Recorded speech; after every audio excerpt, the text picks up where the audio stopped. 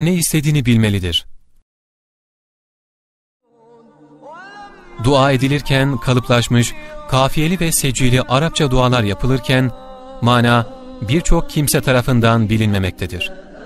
Manası bilinmeyen namazlar nedeniyle Allah'la kul arasında yakınlaşma olmadığı gibi, duada da aynı şekilde yakınlaşma olmamaktadır.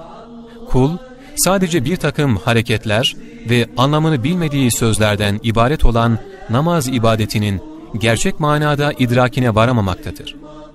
Namaz, başlı başına bir duadır. Böylesine yüzeysel bir şekilde kılınan namazlar, insanı kötülüklerden alıkoymaz. Daha biraz önce namazda Allah'a, ancak sana kulluk eder ve yalnız senden yardım beklerim diye dua eden birisi, namazın ardından fazla geçmeden duasının tam tersini yaparak, farkına varmadan kendisini yalanlamaktadır. Kul, duasında Rabbinden isterken, istediklerinden gafil bir şekilde aklı başka yerde, dili ise alışa geldiği sözleri söylemekte olursa, duası sadece kuru sözlerden başka bir şey olmayacaktır. Nasıl ki kul başı dara düşünce,